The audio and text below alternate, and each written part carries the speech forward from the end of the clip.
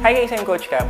Today, unbox natin yung pinadala ni Yisal na package. Ito yung isa sa mga bench nila na budget price. Excited na akong gamitin to kasi usually pag nagte-train ako ng chest, ang nagagawa ko lang is si floor press. Medyo nakukulangan ako sa range of motion ko. Magta-try din ako ng mga iba pang exercise para makita natin kung matibay at safe ba siya gamitin and kung sulit ba siya sa price niya.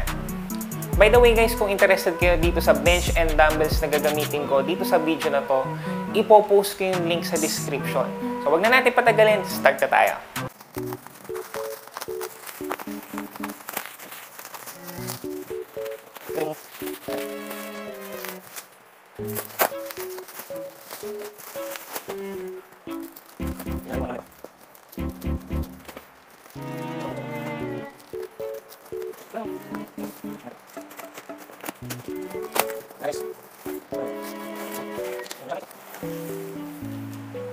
Pamalo.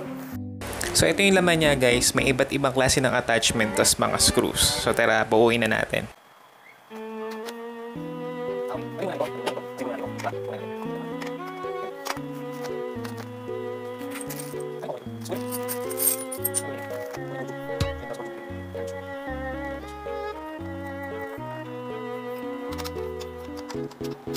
Yup, tapos, yan, okay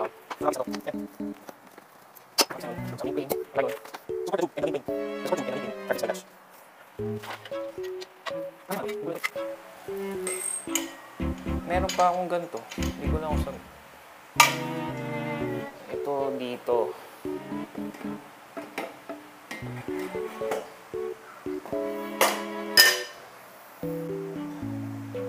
Baliktad ako nung kabit noon, guys. Baliktad ako nung kabit.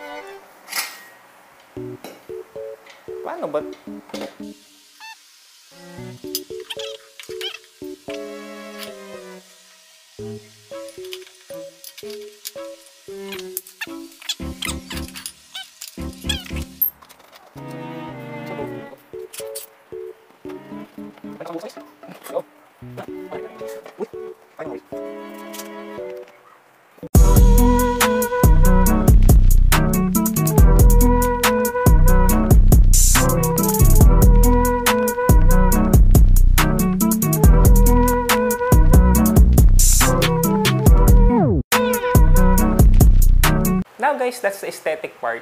Tingnan naman natin yung quality niya pa nag-perform tayo ng exercise. So unahin natin si preacher curls para mamaya tatanggalin natin to. Then magta-try tayo ng let's say shoulder press or incline and flat.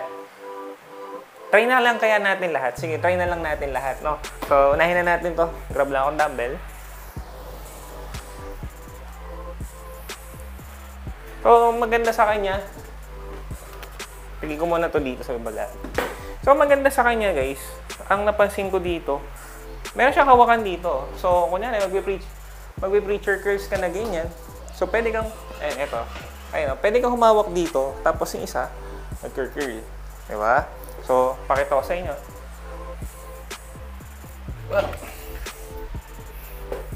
Yan. Yan, okay din. So, mapapansin nyo medyo bulky din yung medyo bulky yung dumbbells ko. Pero okay naman. Okay siya. For me, pasado, siya, pasado itong preacher curls.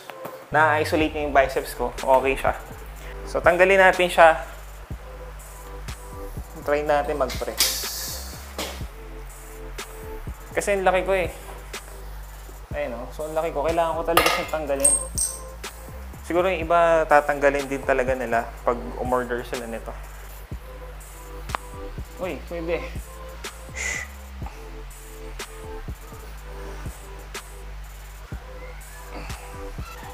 Pwede guys. So, maximum weight nga pala nito guys is 200 kilos. So, ako 83 kilos ako. Yung binuhat ko, magana lang to eh. Uh, 6, 9, 12 mga 13 kilos each. Okay din.